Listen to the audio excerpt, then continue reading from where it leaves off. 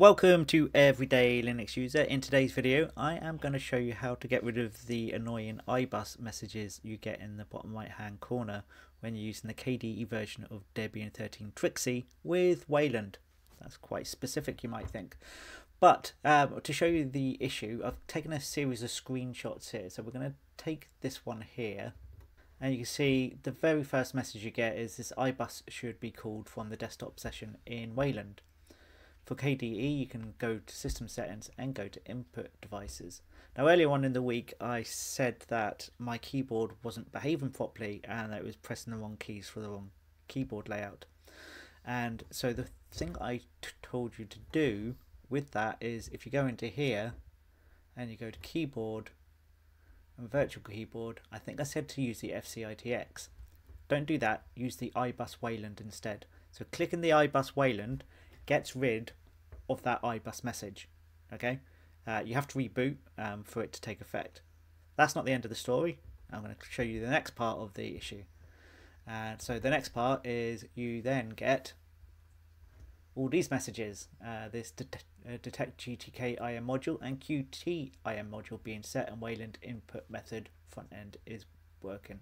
Now the reason for that, when you go to your system settings, you've got this keyboard layout here and you've also got this input method down here and that's got something running against it as well. So that appears to be setting those variables and causing that message to appear.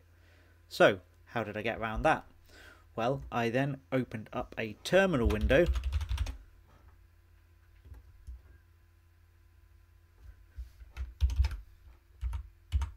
and I ran that command there. I'll run it again now. Um, it won't do anything because I haven't got anything installed.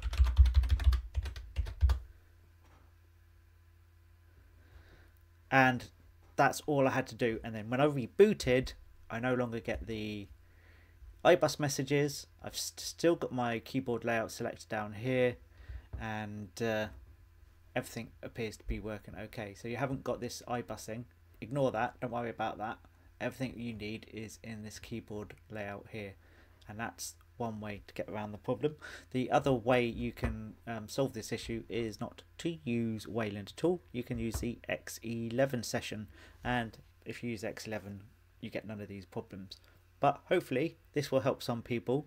Um, the other thing you could do is of course just ignore the message and just click the OK button every time it pops up or when it says don't show again you can click the don't show again. But I found that even when you pressed don't show again it would show again.